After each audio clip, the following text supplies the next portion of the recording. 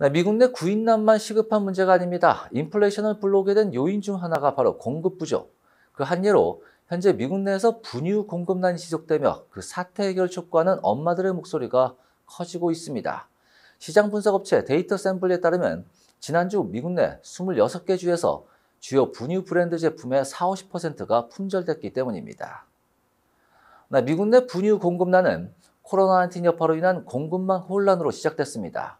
특히 한 분유업체의 리콜 사태가 공급난을 악화시켰습니다.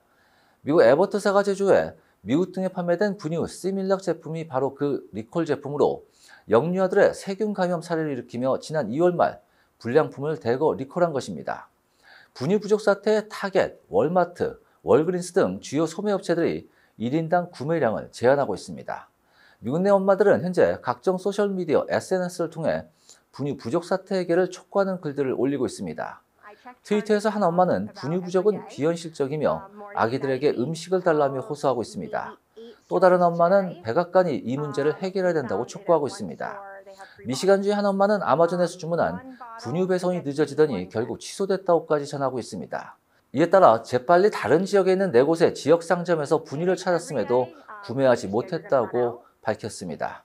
한편 뉴욕의 한 엄마는 팍스 비즈니스 뉴스에 모유가 부족해 미국 내 대형 소매 유통업체 타깃으로 달려갔지만 분유 진열대가 텅 비어 있었다며 심장이 그야말로 내려앉았다고 토로하기도 합니다.